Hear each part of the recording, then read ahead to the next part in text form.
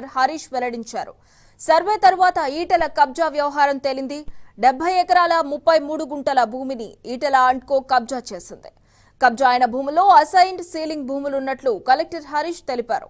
డెబ్బై ఆరు మంది భూములను ఆక్రమించుకున్నట్లుగా నిర్ధారణ అయింది.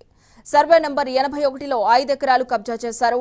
సర్వే నంబర్ నూట ముప్పైలో మూడు ఎకరాలు అసైన్డ్ భూమి అక్రమంగా రిజిస్ట్రేషన్ చేయించుకున్నారు. నిషేధిత జాబితాలో ఉన్న ఎనిమిది ఎకరాలను ప్రభావితం చేసి రిజిస్ట్రేషన్ చేసుకున్నారు. నూట ముప్పై సర్వే నంబర్లో అనుమతులు లేకుండా పౌల్ట్రీ షెడ్ల నిర్మాణాన్ని చేపట్టారు. నాలాతో సహా ఎలాంటి అనుమతి లేకుండా నిర్మాణాలు చేశారు. కాలుష్య నియంత్రణ మండలి అనుమతి తీసుకోలేదని కలెక్టర్ హరీష్ చెప్పారు. ఎల్క చెరువు హల్దీ వాగులోకి పౌల్ట్రీ వ్యర్థాలను వదులుతున్నట్టు స్థానికుల ఫిర్యాదులు చేశారు.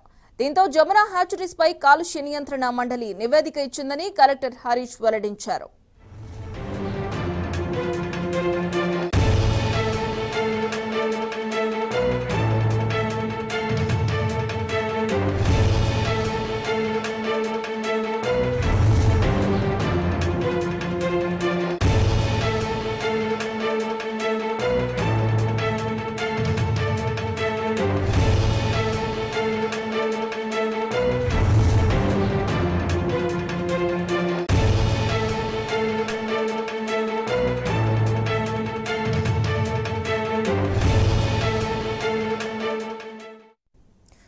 ఈటెల భూకబ్జా వ్యవహారంపై మరిన్ని వివరాలు మా ప్రతినిధి వేణు అందిస్తారు.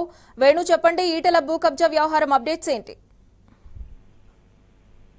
మెదక్ జిల్లా మాసాయిపేట మండలం అచ్చంపేట హకింపేట గ్రామాల్లో ఈటల రాజేందర్కు సంబంధించిన జమునా హాచరీ సంస్థ తమకు సంబంధించిన అసైన్డ్ భూములను కబ్జా చేసిందంటూ ఈ సంవత్సరం ఏప్రిల్ నెలలో రైతులు సీఎం కేసీఆర్ గారికి లేఖ రాయడం జరిగింది. వెంటనే ప్రభుత్వం స్పందించి దానికి సంబంధించి విచారణ నిమిత్తం కలెక్టర్ ఆధ్వర్యంలో విచారణ చేపట్టడం జరిగింది. ఆ విచారణ సందర్భంగా ప్రాథమికంగా ఇక్కడ జమున హాచరి సంస్థ కబ్జాలు చేసినట్టు అదేవిధంగా విధంగా అసైన్కు సంబంధించిన భూములలో కూడా తీసుకున్నట్టు ప్రాథమిక ని- ప్రాథమికంగా నిర్ధారించారు. దానికి అనుగుణంగా పూర్తి స్థాయిలో సర్వే కూడా ఈ గత పది రోజుల క్రితం సర్వే కూడా నిర్వహించడం జరిగింది. ఆర్డీఓ సమక్షంలో డిప్యూటీ ఇన్స్పెక్టర్ ఆఫ్ సర్వీస్ ఆధ్వర్యంలో గ్రామంలోని అచ్చంపేట లేదా హక్కంపేట ఎక్కడైతే ఈ కబ్జాలు జరిగాయో దానికి సంబంధించిన పూర్తి స్థాయి సర్వే నిర్వహించడం జరిగింది.